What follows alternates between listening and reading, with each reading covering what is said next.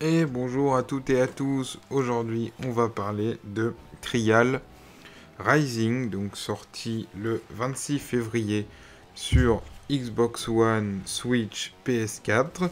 Donc c'est développé par Red Links et Ubisoft et c'est édité par Ubisoft.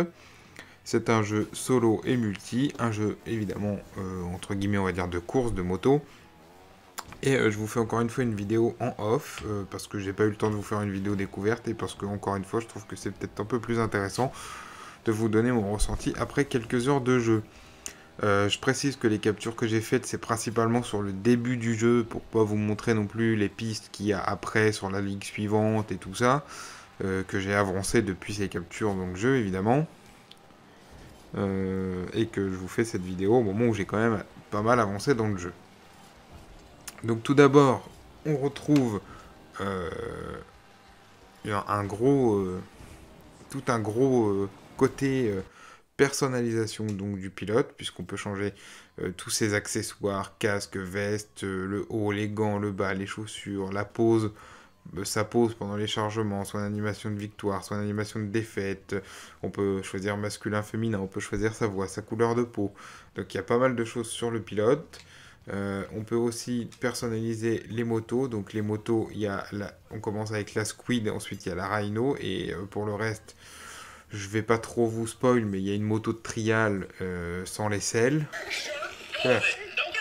Excusez-moi, mon téléphone qui s'est mis en route tout seul. Donc euh, on a une, moto genre trial sans la selle. On a, euh, on a du vélo, comme on avait dans le précédent. je ne sais plus ce qu'on a. On a le tandem. Ça, le tandem, quand vous jouez à deux. en fait, les deux pilotes sont sur la moto. Il faut se coordonner au niveau des mouvements pour éviter de, de faire une connerie et donc de un qui part à gauche, un qui part à droite, ou un qui part qui se penche en avant, un qui se penche en arrière, parce que ça fout sacrément le bordel. Donc évidemment toutes ces motos sont entièrement personnalisables, jantes, échappement, phare, cadre, carénage, garde-boue, euh, des stickers, enfin des tonnes de trucs que vous débloquez euh, en progressant dans le jeu, en gagnant des caisses de matos, caisses genre c'est des loot box un petit peu, que vous débloquez en jouant, mais que vous pouvez aussi acheter. Acheter avec les sous que vous gagnez pendant les courses ou avec des glands. Oui, oui, j'ai bien dit des glands que vous pouvez acheter là, euh, bon, avec votre carte bleue.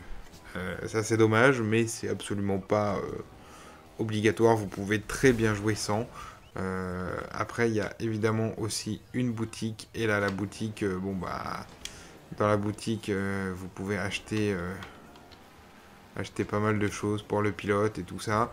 Alors vous pouvez les acheter avec les sous que vous, vous gagnez dans le jeu, évidemment, mais aussi avec des glands. Voilà, et euh, j'ai l'impression que les sous dans le jeu, on n'en gagne pas énormément, donc je me dis quand même qu'ils ont un petit peu fait exprès pour que on, soit obligé d'acheter des glands, chose que je ne ferai pas euh, pour ce qui est des extensions. Moi j'ai pris la version Gold en boîte qui vaut 40 euros. Euh, ensuite, bon, une fois passé la personnalisation, on a un multijoueur donc mondial, on a un mode groupe, on a le track central qui permet de normalement de télécharger et de tester les pistes créées par les joueurs. On a un mode de multijoueur privé qui n'est pas encore disponible mais qui arrivera très bientôt. On a évidemment un éditeur de pistes, bon j'ai pas encore testé puis je suis pas très doué pour ce genre de truc donc je euh, je sais pas si je vous montrerai ça dans les captures.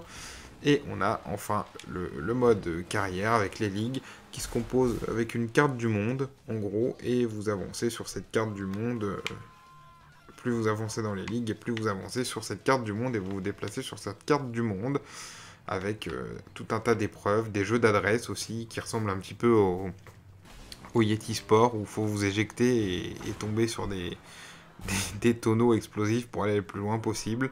Il y avait des trucs comme ça aussi dans Flatout à l'époque où il fallait traverser le pare-brise. Enfin voilà, c'est ce genre de petit jeu plutôt sympa. Il y a une école, euh, on va dire une école de pilotage euh, avec des épreuves, euh, avec des notes pour apprendre les techniques de pilotage. Et puis bah, après on a toutes les épreuves avec des contrats aussi sur certaines épreuves. Des fois vous avez l'épreuve où vous pouvez finir avec la médaille d'or.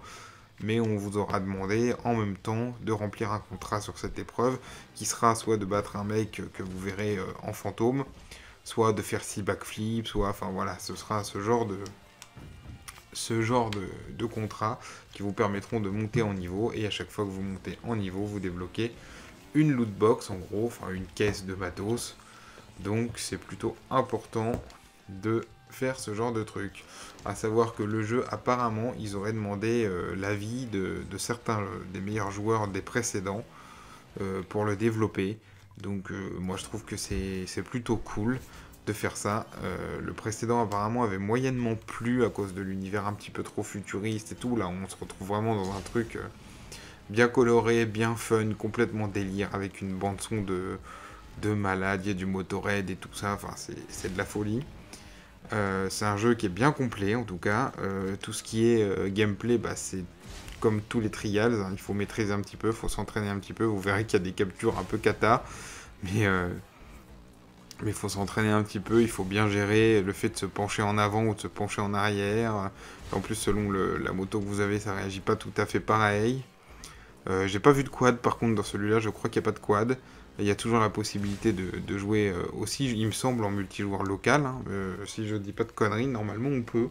Euh, j'ai pas vu l'option, c'est vrai, dans le menu, mais logiquement on doit pouvoir le faire. donc, donc voilà, écoutez, c'est un jeu qui est super fun, qui est bien complet dans sa version. Dans, sa version boîte gold en plus vous aurez les extensions il vaut 40 euros en gold et je crois qu'il vaut 20 ou 25 euros en édition normale mais en édition normale il n'est dispo qu'en des maths. Euh, le jeu en plus, vous le verrez, est plutôt beau. Enfin, sur la, sur la Xbox One X et la PS4 Pro, ça tourne en 4K. Alors, il n'y a pas de HDR, il me semble. Le, non, il n'y a pas de HDR, je vous confirme. Mais il tourne, il tourne en 4K. Euh, sur la Switch, il est forcément plus flou, un petit peu moins beau et tout, mais dans l'ensemble, il est fluide, il tourne correctement, ça va. Enfin, de ce que j'ai pu voir, après, j'ai pas pu le voir beaucoup, mais de ce que j'ai pu voir, c'était correct. Donc c'est un, bon petit jeu. Euh, si vous voulez mon avis, moi je vous conseille évidemment de le prendre et de le prendre en gold euh, pour avoir les extensions qui risquent d'être plutôt cool aussi. Maintenant c'est un jeu sur lequel il faut avoir un petit peu de patience, ce qui n'est pas mon cas. Donc en général je me fais des sessions d'une petite demi-heure. Et après je joue à autre chose histoire de pas me, prendre trop la tête non plus parce que je suis pas quelqu'un de, très très patient. Mais même moi je trouve ça plutôt cool et je m'amuse. Donc franchement si vous voulez un petit jeu là en attendant, euh, en attendant les gros jeux d'avril ou s'il y a des gros jeux qui vous intéressent en mars, puisqu'il y a quelques sorties en mars, euh, bah, prenez-le. Euh, clairement, ça vaut le coup, je pense. En plus, au prix qu'il coûte, même si vous voulez pas le gold, au pire, à 20 euros en démat, il n'est pas très cher. Donc, donc voilà, écoutez, moi je, je vous remercie d'avoir suivi cette petite vidéo. C'est juste mon avis après quelques heures de jeu, voilà. J'ai essayé de faire à peu près le tour de ce qu'il y avait dans le jeu. Évidemment, je n'ai pas parlé de tout parce que j'ai pas encore tout vu. Mais je vous ai donné à peu près mon avis sur ce que j'ai pu voir. Donc je vous remercie. Je vous dis à la prochaine. Salut à toutes et à tous.